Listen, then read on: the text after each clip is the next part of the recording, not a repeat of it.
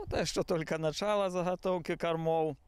Ну и по первому дню видно, что нормально. Урожайность есть, вес есть. Ну и, естественно, и зарплата будет.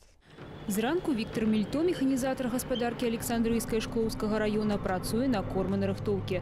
Гэта поле азімай свірэпіцы, культура гатова да ўборкі. Мы занимаемся ей второй год, и она как промежуточная культура, не требовательна к питательности, к удобрениям, значит, только э, единственное весой подкармливаем осенью. Урожайность на сегодняшний день, судя по волкам, вы сами видите, что где-то в пределах 170 центнеров зеленой массы дает. Свірэпіца багатая на пратэін, што добра для буйной рагатай жывёлы. Зялёную масу адразу адпраўляюць у траншеі, яе шчыльна трамбуюць, каб добра захавалася. На каждой сенажной траншеи ведется отдельный журнал, по, где фиксируется температура, влажность заготавливаемого корма. Э, Замеры производятся ежечасно. За першы укос аграрыям вобласці трэба ўбраць больш за 200 тысяч гектараў. У аблсельгасхарчы мяркуюць, што гаспадаркі справяцца за 15-17 дзён.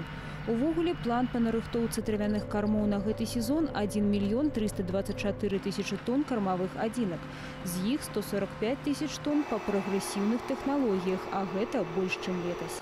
Алена Салаўёва, навіны рэгіёна.